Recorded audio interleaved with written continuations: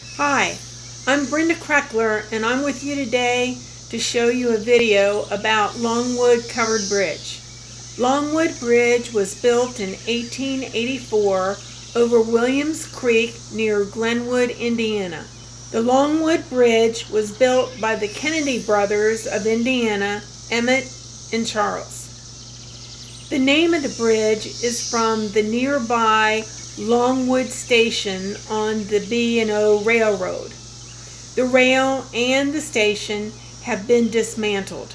It was in 1984, a hundred years after it was built, the Longwood Covered Bridge was moved from Williams Creek to Roberts Park in Connersville, Indiana. The bridge is 94 feet long with a single span.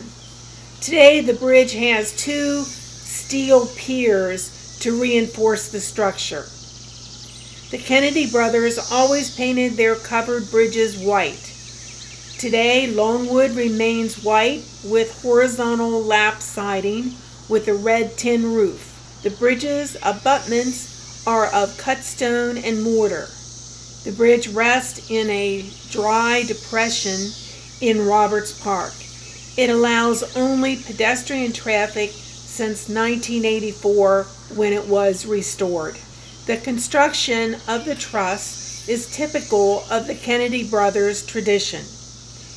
Each truss has a double burr arch encasing a multiple king post truss. The truss is designed as a multiple king post truss without the king post and or queen post center panel. The floor is constructed with horizontal planks. It is unfortunate as of September 2021, the interior of the bridge is covered with thin fence wire. It looks like chicken wire to me.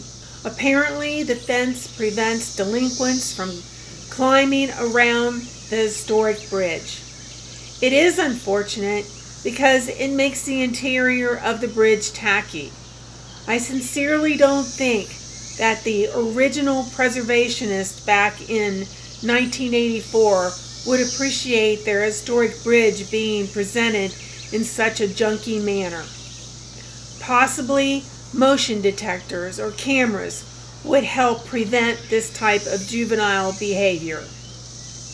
Hopefully in the near future the siding can be repaired. When the 138 year old truss is exposed to water, it will quickly rot.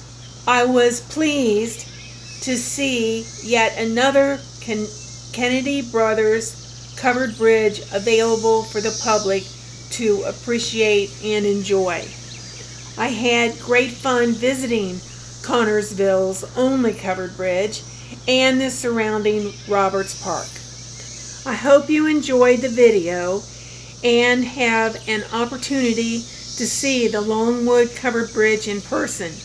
Until next time, this is Brenda Krekeler signing out.